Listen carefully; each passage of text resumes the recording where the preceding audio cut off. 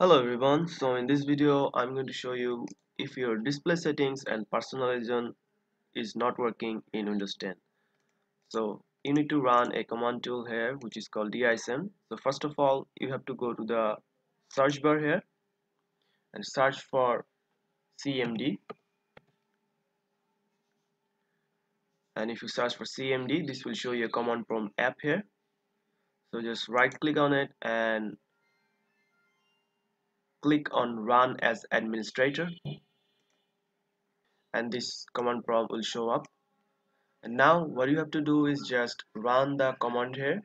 So this command will be in the description box. You can just copy and paste it here. So I'm just gonna copy the DISM tool here.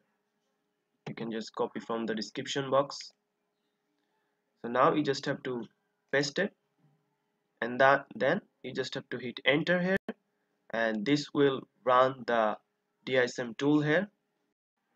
The deployment image servicing and management tool which can take up to 30 to 1 hour here. So you just have to finish the 100% of this command line to finish there.